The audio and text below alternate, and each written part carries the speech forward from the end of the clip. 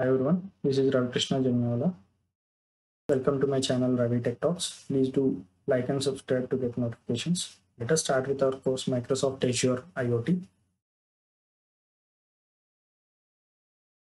So today we will look at uh, what are the different protocols available for us on Azure IoT Hub uh, while configuring a physical device, and uh, we'll discuss on different options on using these protocols and uh, network considerations. So these are the protocols which are available for us on uh, Azure IoT Hub, uh, AMQP, Advanced Message Queuing Protocol, MQTT, Message Queue Telemetry Transport Protocol, and uh, HTTPS. Uh, we also have MQ, AMQP over uh, WebSockets and uh, MQTT over WebSocket. We will look at in what scenarios we will go for WebSockets. So coming to AMQP, MQTT, and HTTPS, so these are the ports uh, which are required for uh, those protocols uh, to be used. And uh, coming to AMQP, if you are uh, having multiple devices connecting over a single TLS connection, and if you want to perform uh, device identity, then AMQP is a is the perfect protocol for you. And AMQP and MQTT it also supports publish subscribe, and MQTT only supports a single device identity over uh, TLS connection, even HTTPS. And uh, both AMQP and MQTT, they both support uh, binary protocol. That is uh, the message, whatever you are sending, it goes in binary format. So it will have a lesser footprint. Whereas HTTPS, it takes in, uh, in text format ASCII. So the message size will be bigger. And AMQP requires more memory, whereas MQTT requires smaller memory. And even HTTPS requires smaller memory. So these are the protocols. Uh, now let us see uh, different types of devices, what we normally encounter. So we have three different uh, types of devices. Uh, one is cloud or field gateway. So these gateways are nothing but uh, there might be multiple devices uh, which are collecting data, but they cannot directly talk to an Azure IoT hub.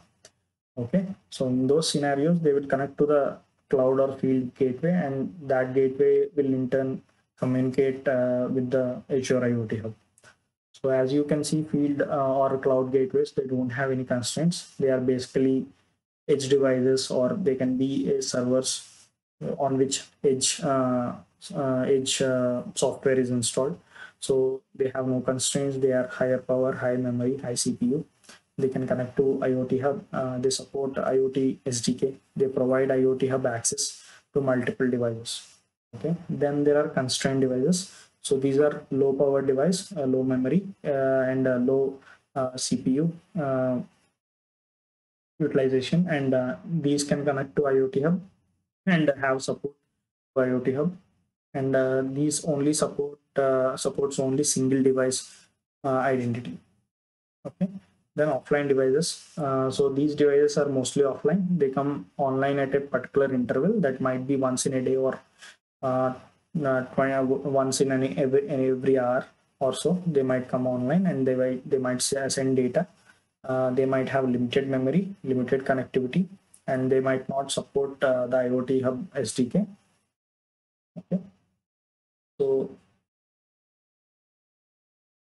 so as we discussed previously the cloud and uh, field gateways uh, based on uh, their um, based on the constraints they have it is uh, it is good to use amqp protocol for cloud or field level gateways because you are, you can perform multi device uh, identity and authentication over the same tls connection. You have publish subscribe and you have a uh, no constraints over here.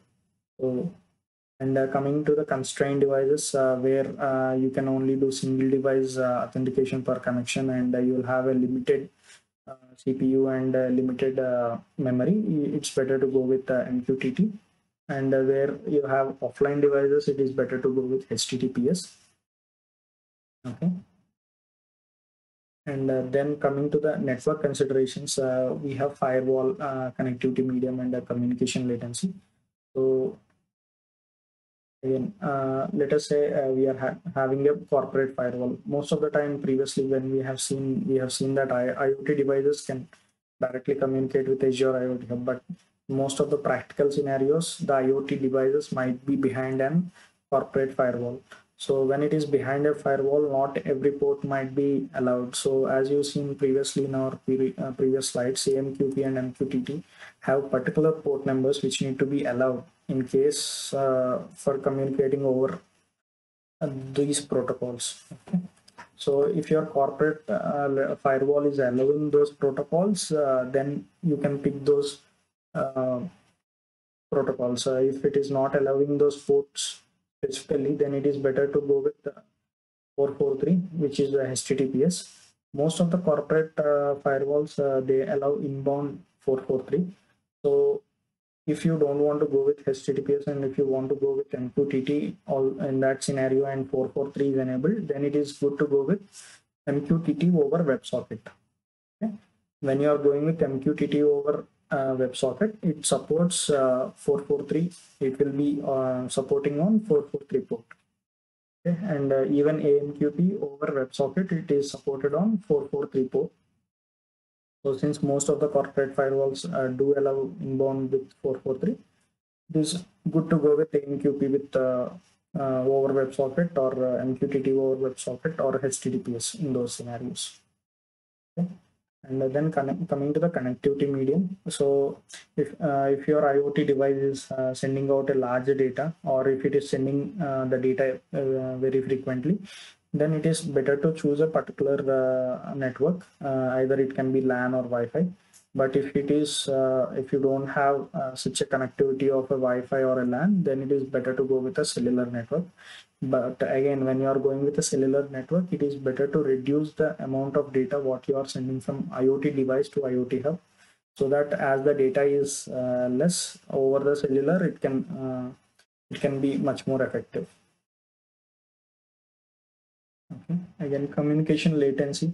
So let us say your device is collecting data and it is sending a real time. And in some scenarios you are having offline devices or low power devices and it is sending data over uh, one hour or two hours or it might be collecting data and sending it uh, once in every 24 hours or so. So in those scenarios it is uh, good to have an iot edge because in some of the scenarios you might want to raise alerts or you, you might want to raise notifications at the uh, factory level or the industry level before that data gets into Azure IoT Hub and uh, it uh, throws a red flag at the Azure IoT Hub level. So if you want to have such a control, it is better to have IoT Edge uh, logic implemented at, uh, after the device level so that uh, if you want to throw some alerts at the factory level saying that some parameter or some machine need to be adjusted or based on some value some machine need to be turned off or uh, some sort of uh, preventive measure if you want to trigger, then it is good to have an IoT edge sort of an implementation based on your communication uh, latency. Whether how much time it is taking whether you are sending real time or if you are sending even in real time also you cannot send real time. There might be few it will it will be few seconds or minutes off. Okay so hope you have understood uh, what are the different protocols available on Azure IoT Hub and uh, what are the different considerations uh, we take. Please uh, let me know in the comments if you have any uh, doubts related to this topic. Have a nice day.